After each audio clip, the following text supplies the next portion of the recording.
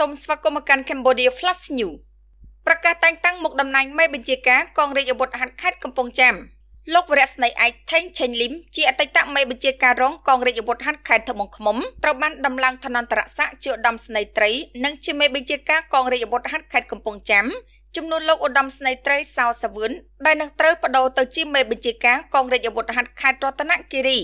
ពិធីប្រកាសមុខតំណែងនិងបំពាក់ឋានន្តរស័ក្តិនេះបានរៀបចំឡើងនៅបញ្ជាការដ្ឋានកងរាជអាវុធហត្ថខេត្តកំពង់ចាមនៅព្រឹកថ្ងៃទី23ខែមេសានេះដោយមានការអញ្ជើញចូលរួមពីលោកនាយឧត្តមសេនីយ៍សៅសុខាអគ្គមេបញ្ជាការរងកងយុទ្ធពលខេមរៈភូមិន្ទនិងជាមេបញ្ជាការកងរាជអាវុធហត្ថលើផ្ទៃប្រទេសលោកក្លូតផនប្រធានក្រុមប្រឹក្សាខេត្តកំពង់ចាមលោកអ៊ុនចន្ទាអភិបាលខេត្តកំពង់ចាមប្រធានមន្ទីរអង្គភាពពាក់ព័ន្ធសរុបប្រមាណ100នាក់ បន្ទាប់ពីមតិប្រាំផ្ញើរបស់លោកអ៊ុនចិនណានិងលោកនាយឧត្តមសេនីយ៍សៅសុខាលោកឧត្តមស្នេហ៍ត្រីថេងឆេងលឹមជាមេបញ្ជាការកងរាជអាវុធហត្ថខេត្តកំពង់ចាមដែលទៅនឹងបានប្រកាសចុះកាត់តំណែង បានធ្វើការបដិញ្ញាចិត្តថាស្មោះត្រង់អស់មួយជីវិតចំពោះជាតិសាសនាព្រះមហាក្សត្រនិងរាជរដ្ឋាភិបាលគឺហ៊ានធ្វើពលិកម្មគ្រប់បែបយ៉ាងដើម្បីការពារសន្តិភាពឲ្យគង់វង្សជារៀងរហូតនិងលើកកម្ពស់ចំណេះដឹងរៀនសូត្រអំពីច្បាប់លក្ខន្តិកៈបទវិន័យទូទៅរបស់កងយុទ្ធពលខេមរៈភូមិន្ទដើម្បីតម្រង់ទិសក្នុងប្រតិបត្តិការបង្ការបង្ក្រាប